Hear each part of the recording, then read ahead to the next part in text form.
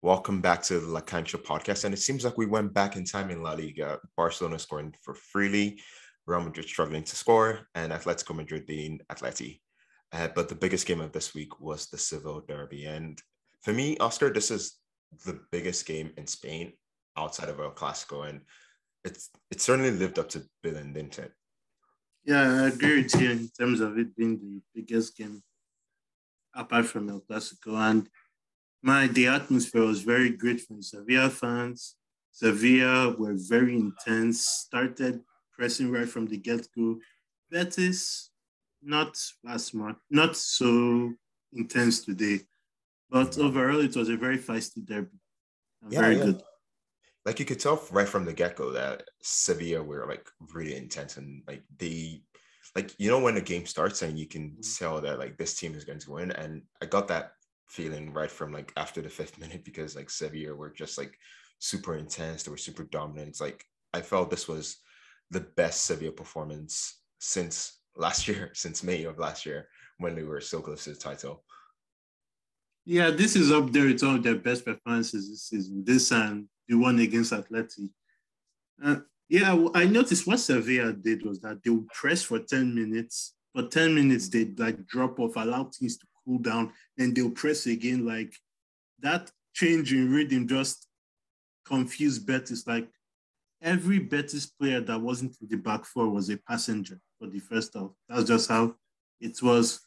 And obviously, Bravo in goal for Real Betis didn't really help their case to win this game. No, and it feels like in the first in that first half, I don't remember Betis having a shot on target, and I believe Sevilla had like eight shots. So it just felt like in that game, like um, Pellegrini's tactics just didn't work for Betis. Yeah, Betis had one shot off target at the end of the half. That was it. You know, you know this game reminded me. The first half, at least, it reminded me of PSG versus Real Madrid. Like that level of domination where the opposition ha- is carrying players as passengers. That's just how it is. I also want to like mention one Sevilla player for his performance today, Jesus Corona. He was so good.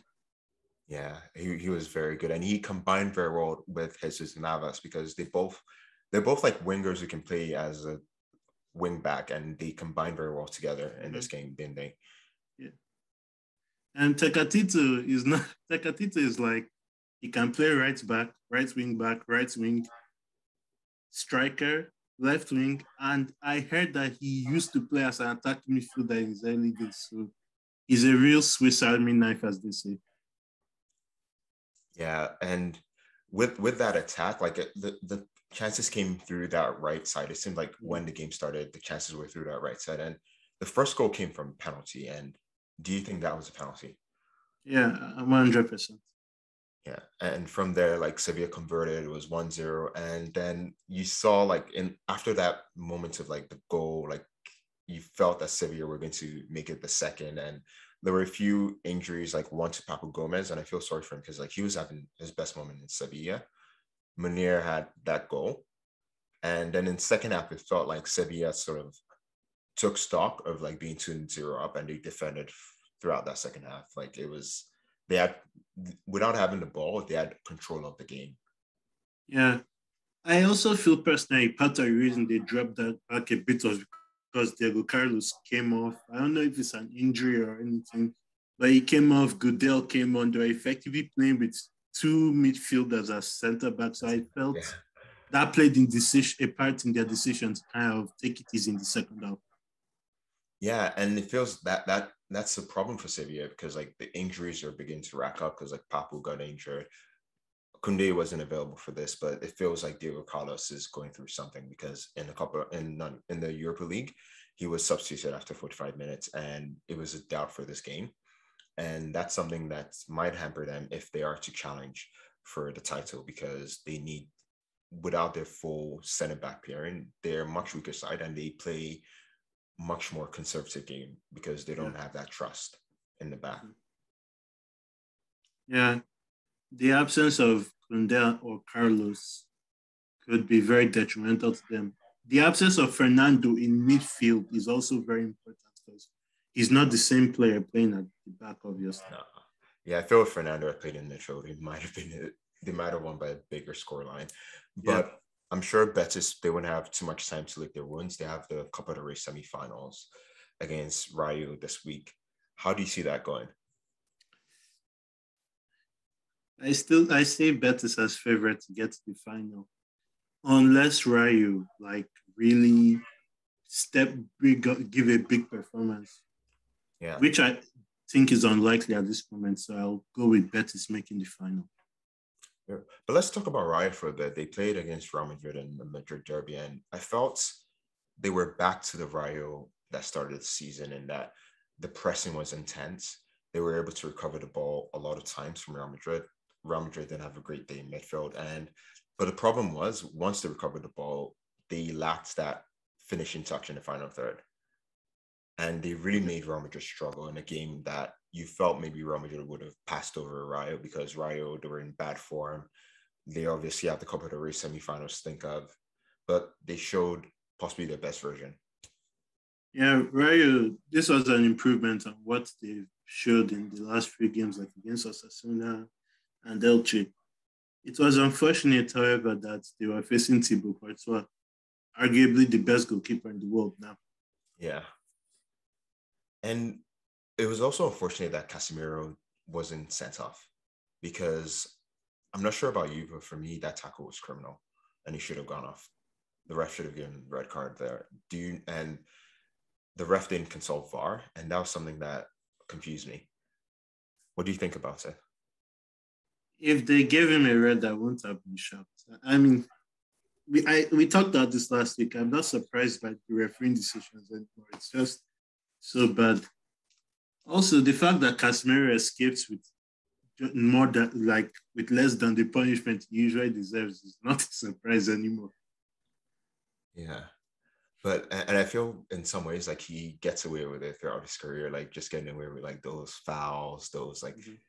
it's surprising that he doesn't have as much red cards to his name, given how aggressive he is in tackling, given how much fouls he commits but he's a player that seems to be like a pantomime villain of La Liga and just gets away with like just rough mm. tackles. Yeah, I, I like.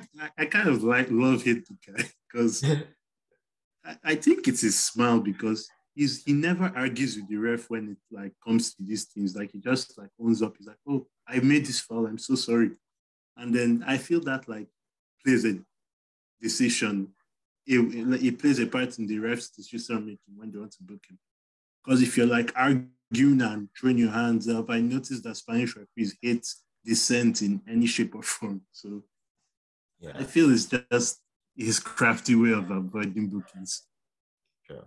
So, but what's going on with Real Madrid? Like it seems like they're struggling again in midfield. Again, like looking forward, they have a comfortable lead in the league. So, but looking forward to that PSG game, they don't breed that much confidence. Like in the midfield, they really struggled against Rayo, a team that they should have enough quality to beat by a comfortable scoreline, especially given the form that they were in. Yeah. And Real Madrid, I, I, I still feel like that fatigue thing we've always talked about is a factor.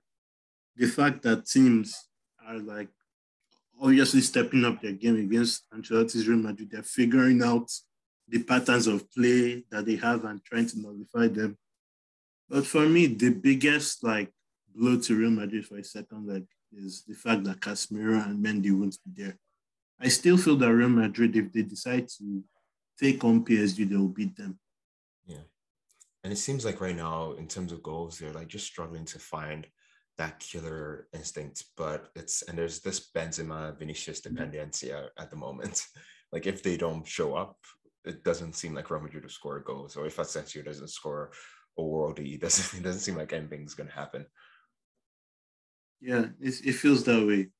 But what I've noticed with Real Madrid is that they always find a way. Yeah. It doesn't matter how bad they play. If you don't finish them off, they will hurt you. And that's the sign of a good team, I guess, when you get wins in difficult situations. Yeah, and that was summed up when Alvaro had the chance. It was one on one with Courtois, and moments later, Benzema and Vinicius combined beautifully to score the goal. But the same that's in every week. Yeah, a team that's not going through goal scoring problems this, at this moment is Barcelona, and again, they seems like four is the lucky number because they stopped Athletic for four after sticking Napoli for four in midweek, and seems like all's going well in Barcelona. Like Aubameyang scoring, Dembele scoring a goal. Like the future looks bright for them. And what's changed? Like apart from the signings, what has changed in the way Barcelona is playing, and how come all of a sudden like the goals are coming? I feel the first thing that has changed is the work ethic. Like the pressing is much better. Like you can see, it's organized as before, as against before when we used to press, it was headless chicken. We were just running around aimlessly. So that has improved. Obviously, the signings have helped because you have more quality on the pitch and on the bench. Yeah. And yeah, Xavi's ideas seem to be getting across well. It's not perfect yet, uh, by no means. And it was Athletic who played their second best XI. But still, it was a very encouraging performance. Yeah, and let's talk about Dembele for a moment because like he got booed by the fans. He scored a wonder goal. And do you think there's a chance he stays at Barcelona beyond the season? I want him to stay. Like really, I, have I've talked about this with some people, and they're like, Xavi believes in Dembele. Like if you have a manager who believes in you, I believe you should stay and let that manager, both of you, take each other to the next level. Because this could be his team. Like Dembele is in charge of this team for a few years if he decides to stay. Because he looked like Cristiano Ronaldo for Manchester United in this game, like with the skills, with the way he mm-hmm. scored. He looked he looked very lively, he looked very up for it. And yeah, so like maybe maybe like he has this good second half of the season and he's convinced to stay, but it doesn't look like it so far. And it seems Luuk de Jong also got on the goals. Memphis Depay got got on goals as well. So like Barcelona is scoring for fun and you see what they did in Napoli. So it's not just like in the league that they're doing well; they're also showing strength in Europe. It questions whether this Barcelona team are they favorites to win the Europa League.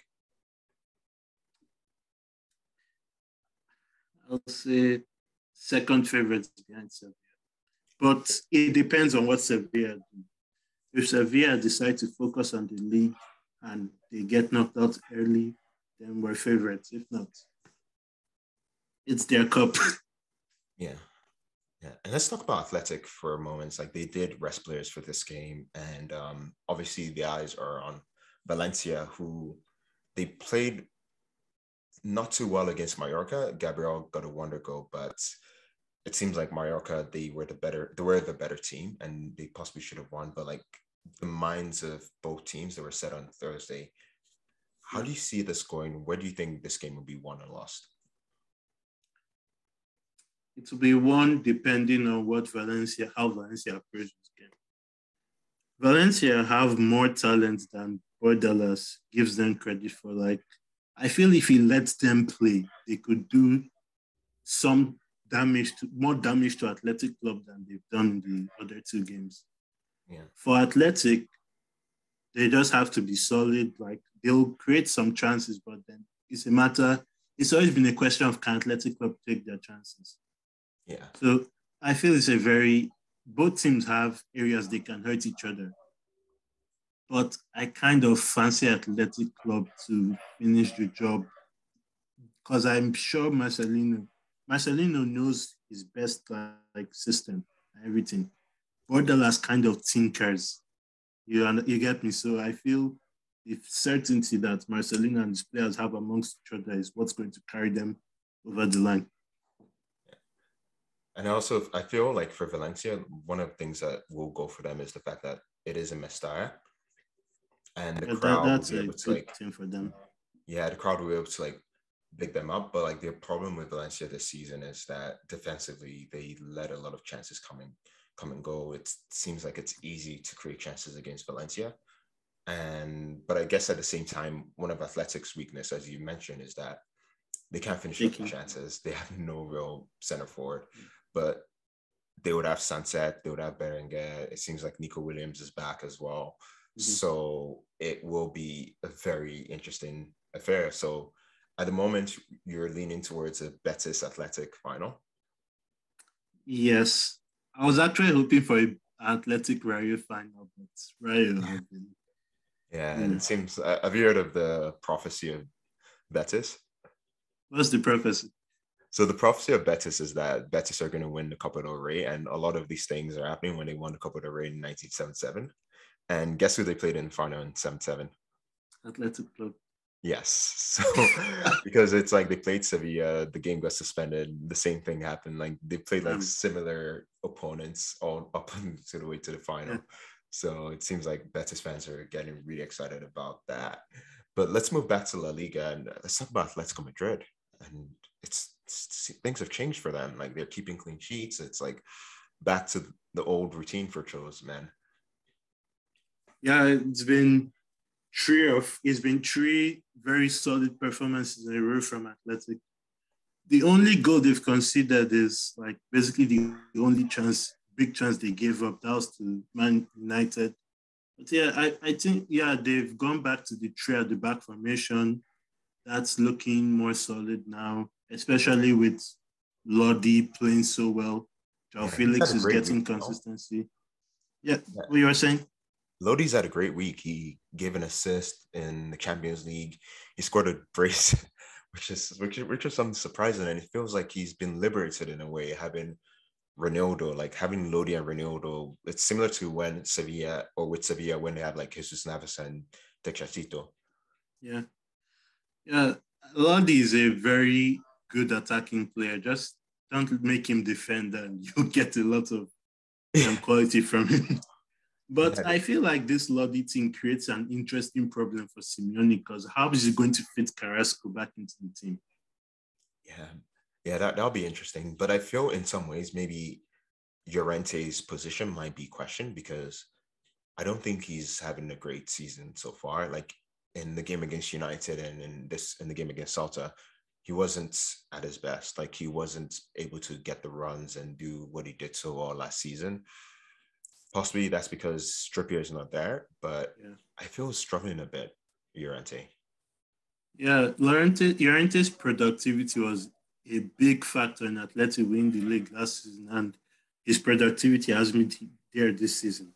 Because, like I said, like you said, Trippier is gone. But even when Trippier was there, Trippier wasn't really playing that well either. Yeah. So, yeah, I feel like his position could be under threat because Carrasco is good, probably going to go to that side if Lodi keeps this up. Yeah. And let's talk a bit about Koke because this position he might be under threat because of the way Herrera and Kondogbia have been playing. In Kondogbia, I felt he was so brilliant against Manchester United. He had Pogba, Bruno, and um and, and forget the third right. person, but he had Manchester United midfield in, in his pocket as well as Herrera. Herrera was incredible. Yeah, Remember the other time we were talking about the players that Cholo should be starting more?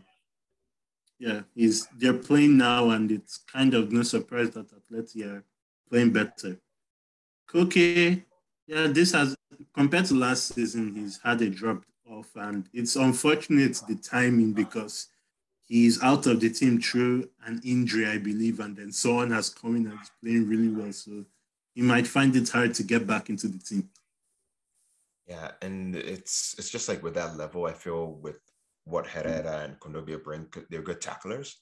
Mm-hmm. Kondogbia can win balls in the air, and that's something Atleti has struggled throughout the season. The ability to be dominant in aerial duels, the ability to be dominant in tackling in the midfield, and you bring Kondogbia in and he retrieves the ball well. He's able to distribute well. Like his pass for Lodi for the second goal was incredible, and he's playing at a level that I would say is like similar to the best defensive midfielders in La Liga. When you talk about Fernando, Sergio Busquets, or Casemiro, in recent weeks, he's been up there with them.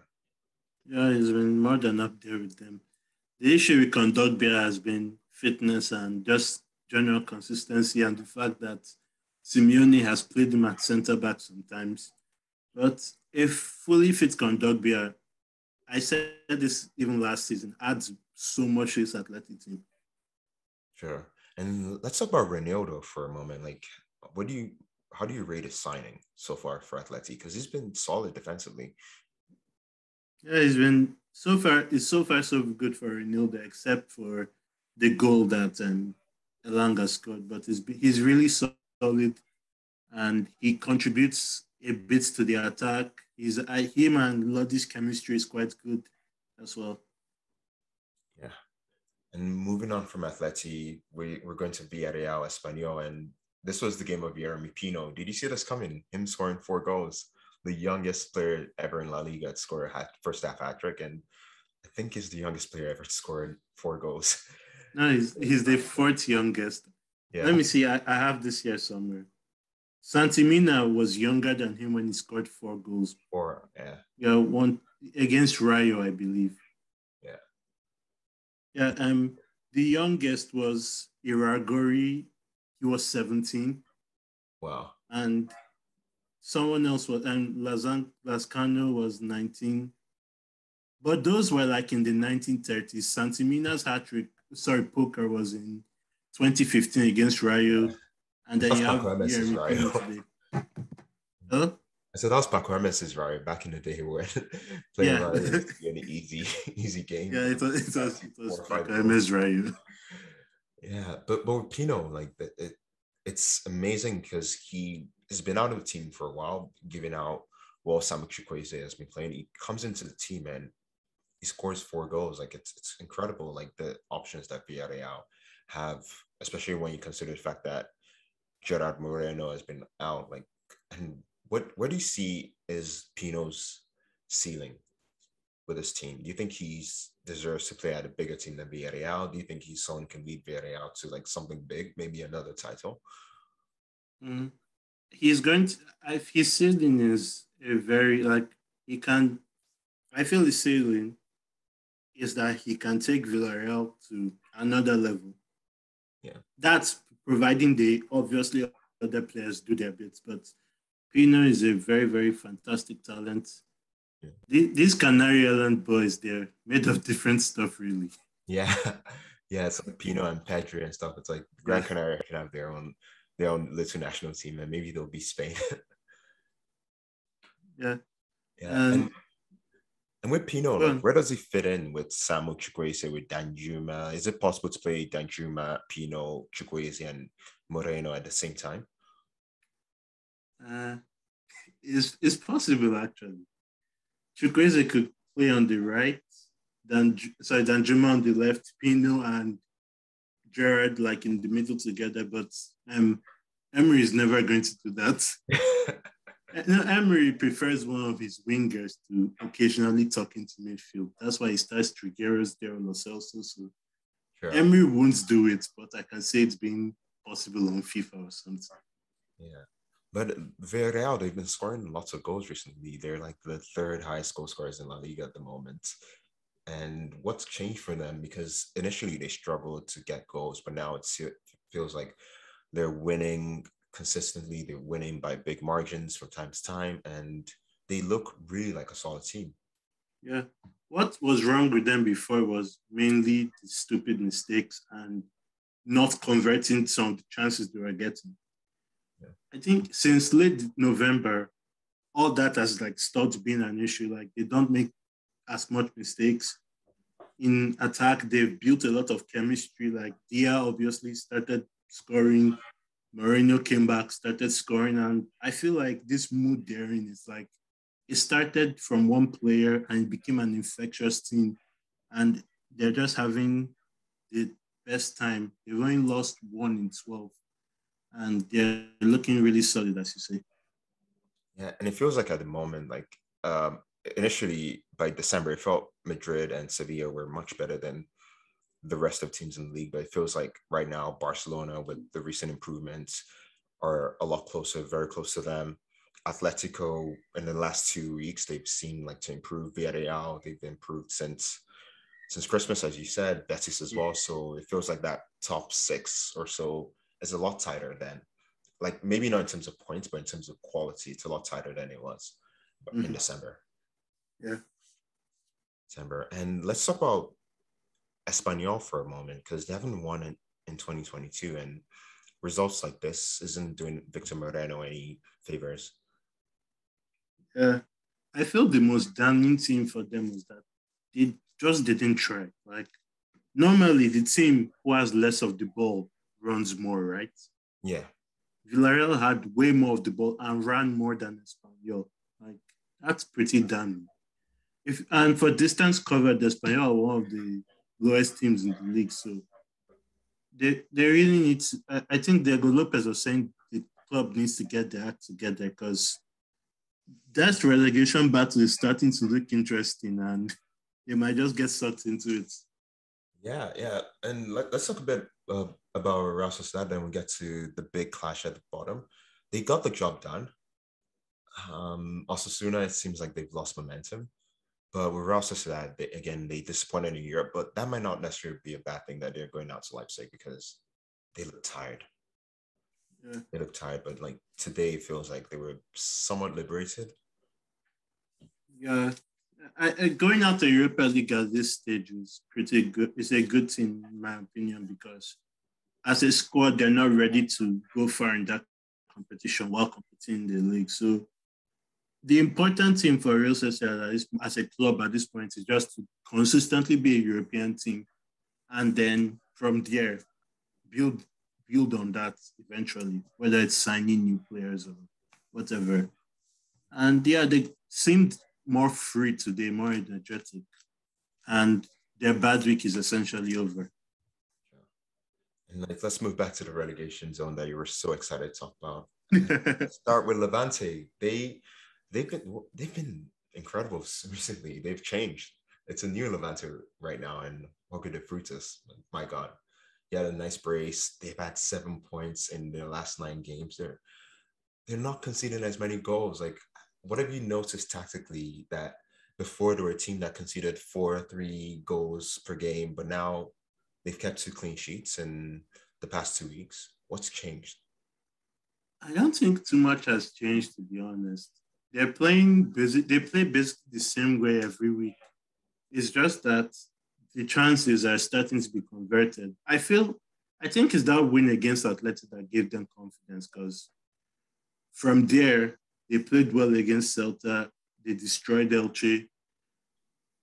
I, I, I, I just think is that like one unexpected win that just gave them this boost of confidence and confidence and your mental state really makes a difference. Like look at Morales he's playing very well. De Frutos is playing well as well. Danny Gomez too. Yeah, and they're six points behind Granada at the moment, which is I believe is 17th. Do you see yeah. there's a chance of them making that difference in gap, especially if Granada loses tomorrow against Cadiz?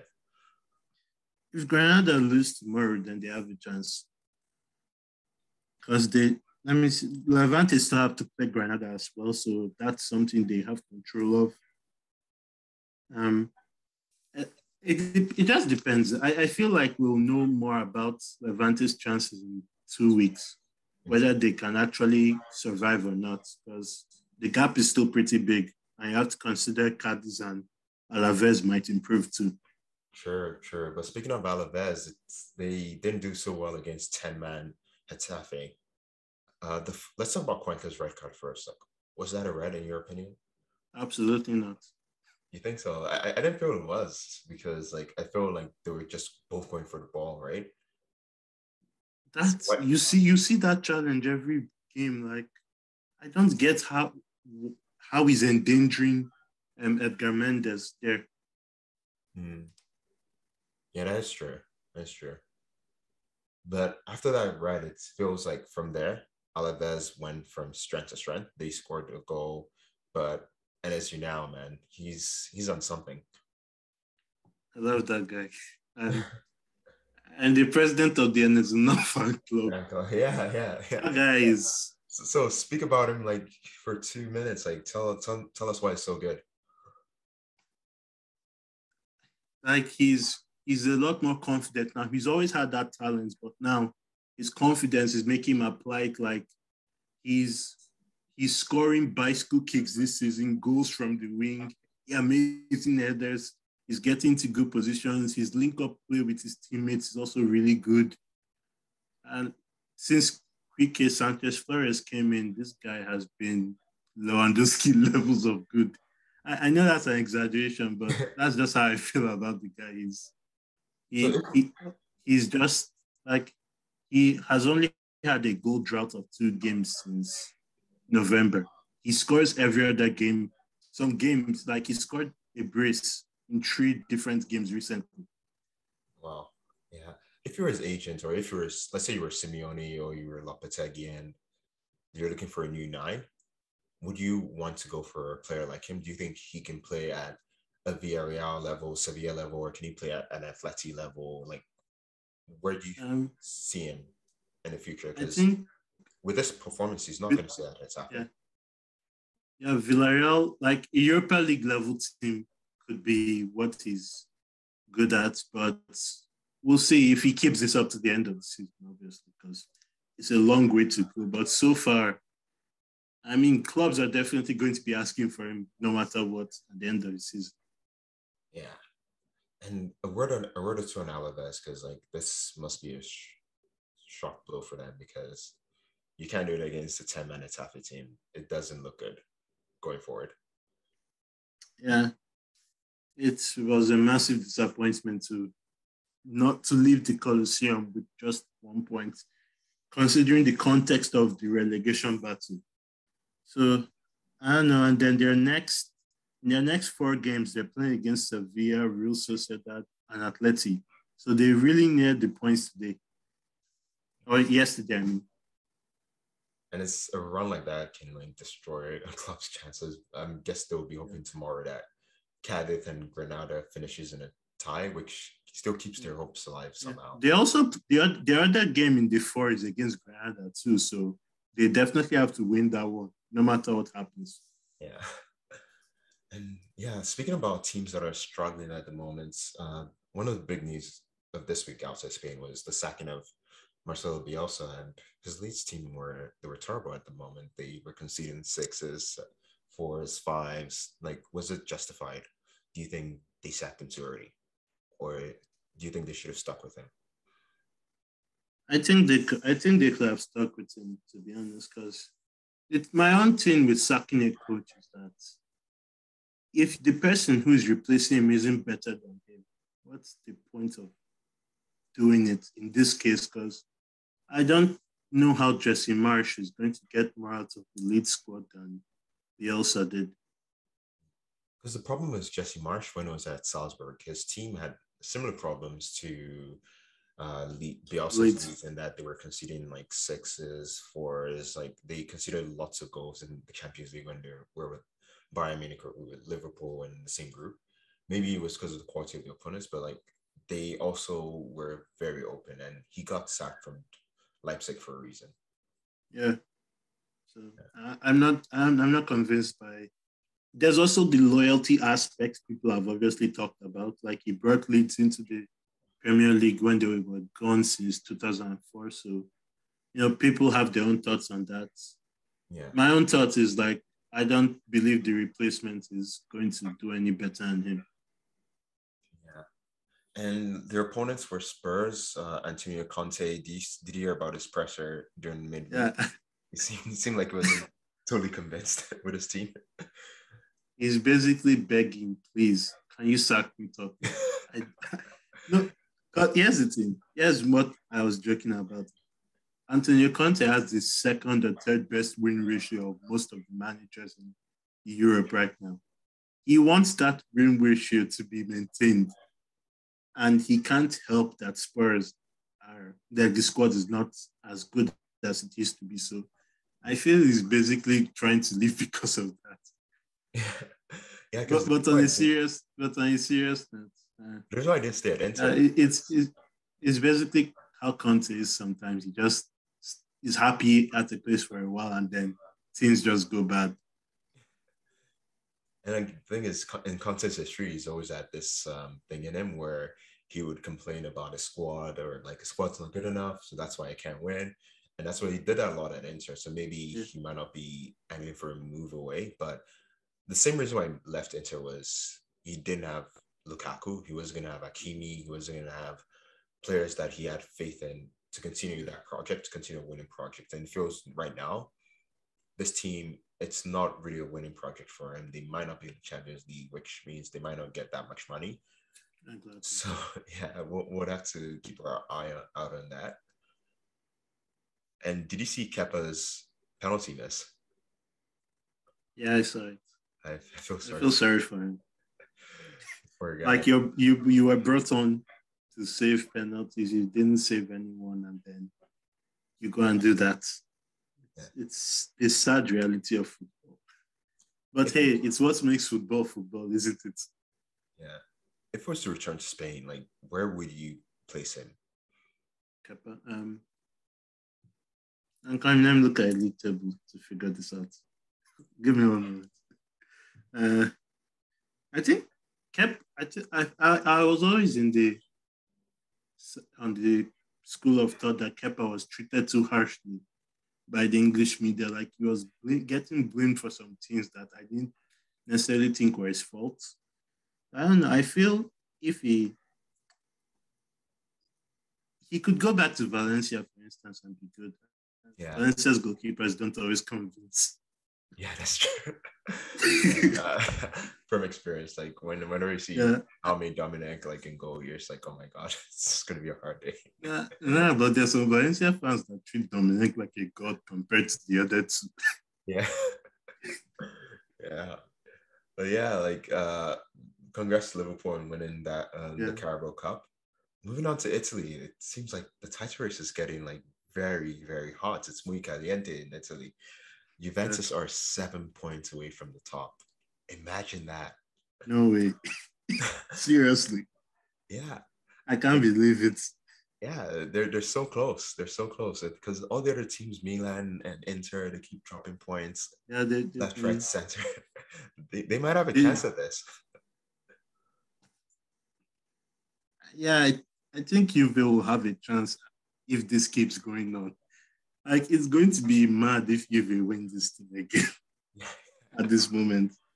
But I definitely think it's out of 10, I'm going to give it a six because the three above them have a history of bottling things, Yeah, especially Napoli. yeah, Napoli they, they got destroyed by Barcelona midweek, and but it seemed like it didn't affect their confidence because they beat Lazio. I'm sorry, Lazio. Yeah. Uh, one. So like they're back to the basics. They're top joint up in Serie A, but if Juve are to win this, is it more of the fact that Juve have the quality and they have that resilience to get back, or will it be on the teams above them that they seriously messed up in this race? It's more on the teams above them. And you have to still credit Juve if this does happen because all Juve have to do at this point is just focus on what they can control. Whatever else happens, happens. I'm sure if they win the league, like if you offered them top four three months ago, they'd have snapped, they'd have broken your hand off. So know. I feel Juve should just keep doing what they're doing. If it leads to a title, that's fine. If it doesn't, that's okay as long as they get top four. Yeah. And thing is, Juve, they didn't really impress me when I saw them against Villarreal. I felt they were, I felt tactically they had a solid game plan, especially in the first half. But they were super catenaccio against Villarreal. And I'm like, you can't, you shouldn't play like that. like it was like watching an Italian team from back in the 2000s where they just like sit back. I haven't seen that many long balls played in a game in a while. yeah. I was like, Allegri, I knew you were like this, but not this bad, man. yeah, it was it was just so funny to watch because like they would have like eight people behind the ball and they're defending for their lives. And I'm like, this isn't you're not playing against Barcelona, Madrid, or even Atleti, you're playing against Villarreal who are stuck in six. But I guess that's that's what Allegri's all about. And it seems like it's working for him like domestically and in Europe because they did get a good results. Mhm. But yeah, we'll see how well this run keeps on going for Juve, whether they can go all the way. A team that doesn't look like they might go all the way is Dortmund. They drop points yet Okay. again, and Bayern Munich, they won by the minimum amounts at Frankfurt, and the gap is now eight points. Can we call Yeah. this league over? It's it's it was over before. Yeah, uh, but it's a good win for Bayern at Frankfurt because they haven't won at Frankfurt for the last three seasons. So this was a Wow. good. It, it was good to overcome that demon, I guess. Yeah. If you can call it a demon. you heard the news about Bayern about them going more for youth players, and because of the wages and salaries are too expensive for them to compete. No, I, I didn't. I, I heard something like that, but I didn't hear the full detail. Yeah. Oh, Bayern are broke too. No, no, it's it's, it's just. I know, like, I know. I was just joking. Yeah. I was kind of saying, "Oh, why not alone?" Yeah. And and that'll be something to be interesting to that we can talk about maybe even next week because of the news of the Super League and they're going to have this big announcement on Thursday of how everything has changed and it feels like they're going for a full PR drive and it's going to start right from this Thursday. So it'll be interesting to talk about because things like this, maybe we might see Bayern or Dortmund support the new version of Super League without promotion relegation, but we don't know what that's going to be like. But we're going to see next week. But this is it was just something interesting that came out that Bayern they want they want to change the strategy essentially. That'll be interesting.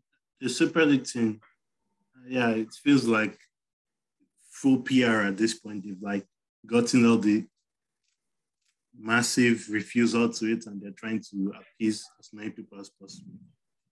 Yeah, yeah. But at the same time, they might go to court and they might be successful in court, but that's that's for the future. That will be May. But for next week, we should definitely talk about whatever Agnelli says on Thursday and the new format and what we think about it. And we can have a debate about whether it's a good thing, whether it's a bad thing. I am, for full disclosure, I'm like fully against it. I'm not sure about Same. what you think about it. Why, why change things? Yeah. But yeah, it's interesting. Uh, interesting week of European football. The Europa League thoughts about the draws. Do you think it's good for Spanish clubs or not? Yeah, the, the three draws are pretty good for the teams. Yeah. Um, yeah, I feel the same way too. And I guess that's like the end of this podcast. Thank you so much again for coming, Oscar. We had a brilliant time speaking. And thanks for having me. Next week. Yeah. yeah. See you next week. Yeah. Adios, guys.